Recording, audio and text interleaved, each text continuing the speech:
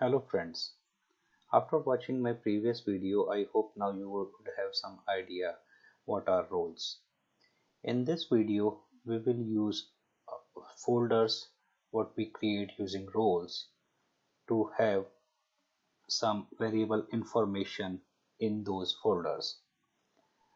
From previous few videos, you know that this is one of the playbook what we use to create the volume in this playbook, we have hard-coded different information like volume name, vServer name, and credentials, access, etc. We, we will try to move these information in different folders under different files. Uh, and those files are going to be uh, variable files which will contain only the variable information and we will get those variable information in the main file in this volume.yaml file. And we will try to run this volume.yaml file and we will try to create same volumes. In order to do that I have two or three different folders. I am not separating tasks right now but I will be only separating variables to separate the variables, I have created two different kind of variable folders. One is default variables and a second is vars which contains different variables. Default variables has these variables which are like vserver, aggr1 and gb why I'm calling them as default variables in most of the cases I know that my vserver name is not something which is going to change commonly. Same goes with aggregate. In most of the cases we don't know we know that aggregate name is not going to change. And GB is one of the form which we can use all the time to create the volume. So any volume size we can define using gigabyte and our volume will be created in different gigabyte size. Now let's talk about volume vars file. So this file will actually contains the variable name.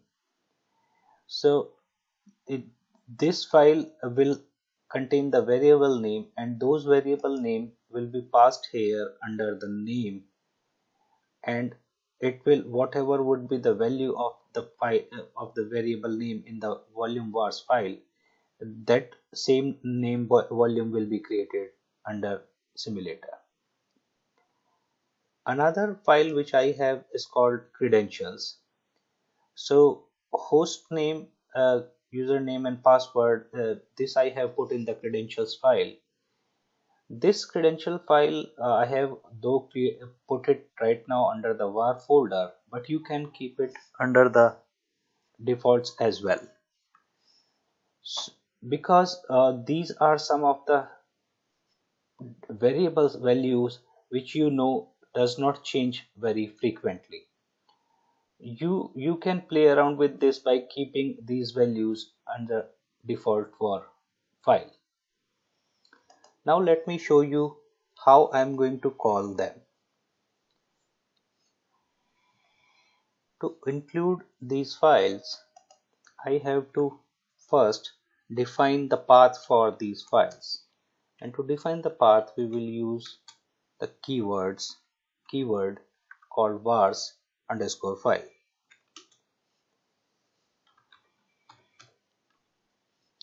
We know one file is under two files are under vars one is credential dot yaml another is vars and is under vars it is volume vars dot yaml there is another file which is under defaults and that file is defaultvars.yaml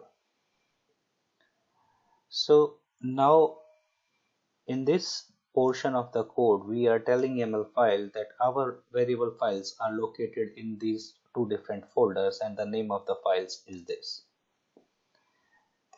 We will use name here as variable.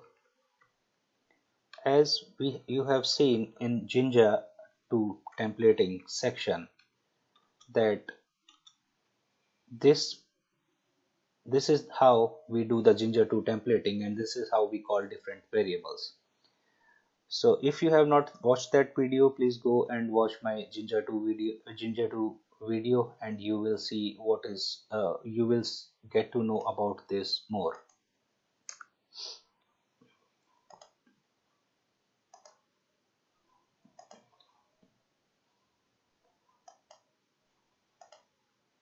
We will come on this um, or let me just explain you how it works. So uh, if you know about YAML um, architecture and if you have some idea about Python in YAML and uh, Python also you can say that these are basically a directory structure which contain the key and then the value and the key and then the value. And whenever uh, this key has dash in front of the value then it becomes the list. So basically it is something like you have these different values which in python if you need to write them you can write them something like this.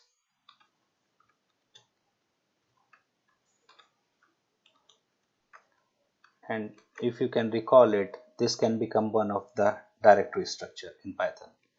But if you try to write same here for the list and directory so you can call this something like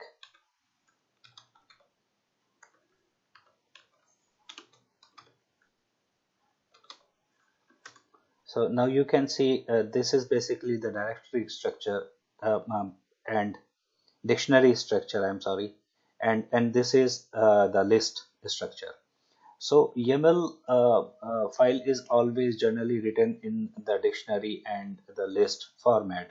So you can see uh, this is one of the list. And when we need to pass the list variable or the value in the list so we need a loop for that. So same way in this uh, file we will use a loop which we discussed before uh, using the keyword called with underscore items and that loop will have this format. Val underscore name. Val underscore name is this value which is coming here. So basically we are telling uh, YAML file that uh, use the the list values from this variable and run it in the loop and pass it here under the names items. Now uh, let me change the vserver. So vserver information is under default vars and vserver name is still vserver so we not need to do anything and we we will just remove vserver1 from here and we will put it into the codes. Aggregate name is aggr so the variable name is aggr1 it's very simple. Change it to aggr1 size unit is size unit. We will call it size unit. And we will change GB to our variable name. And variable name will be this now from credentials uh, I'm going to change all this information also. So it's again same and very simple. It's going to be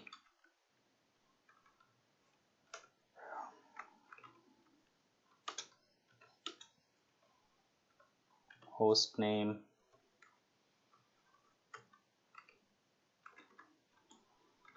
Username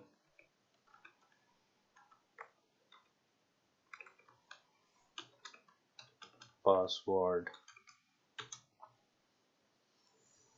Let me just check it and then I will explain you one more time. So we have our vars and let me see if the everything is spelling and all correct. I don't want it to fail. Vars credentials .yml then we have vars volume vars .yml then default vars .yml everything looks good so far then we have a task where we have item which is going to show us the value for pass the value for the volume name vserver.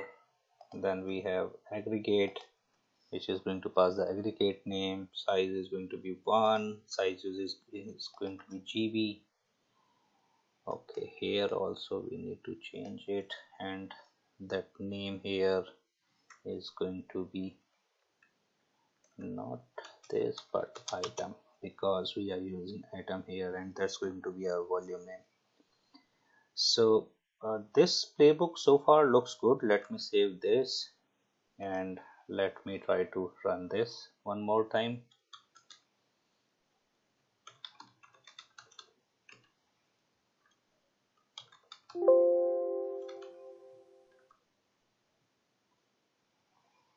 Okay so seems like uh, I think I this is what is not aligned properly. Yeah let me save it one more time. Let me try to run it. And I guess it is aligned now. This is on 4 this is on 5 and this is on 4 let me put it on 5 yeah now I think it should work. Okay. So now you can see that uh, two volumes are created. You ansible all 2 and all 3 let me see those volumes. Vol show. You can see uh, ansible vol 2 and ansible vol 3 which were uh, in our uh, variable file. These two names were already there in our variable files and those two volumes is now created on simulator. So uh, now you know how to uh, pass the variables using different variable files and how you can keep them separate. Uh, this uh, feature or this feature of the role uh, is important for us in the way that you definitely don't want to show the credentials to everybody. So you can have this credential file in a separate folder and you can have uh, uh, limited access for this credential file and still use it in your um, in your YAML file main YAML file. Same way uh, the another idea which you can use that if you want to automate um, it some way that you can do it this way that you have only variable names here and you come up with some kind of programming that every time you up update this information here this name here and you uh, update take for example you can take size also in variable and you update the size so every time you update this information using some kind of shell pro bash programming or uh, python programming and then run this uh, playbook then it will automatically create those uh, volumes with what are there in this the, those names what are there in this file. So uh, this is one of the step uh, towards the automation where we are where we want to go and uh, we will see more about this um, how how we can use these features more.